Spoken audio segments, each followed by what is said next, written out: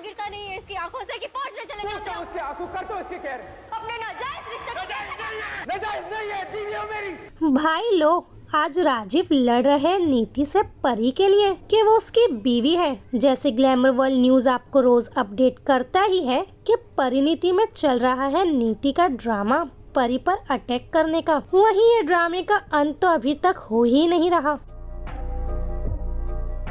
लेकिन परी जो हर वक्त की तरह इस बार भी अपनी सफ़ाई देने पहुँची नीति के पास। पर भैया, क्या कहे? नीति का तो गुस्सा सातवें आसमान पर है। उसने परी की कोई भी बात सुनने बगैर परी को दिया ज़ोर से धक्का और परी जा गिरी दूर कहीं।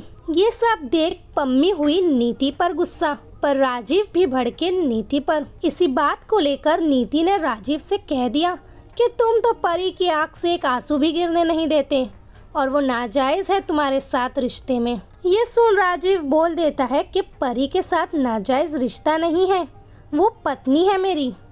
ये सुन तो सब हुए शॉक्ड।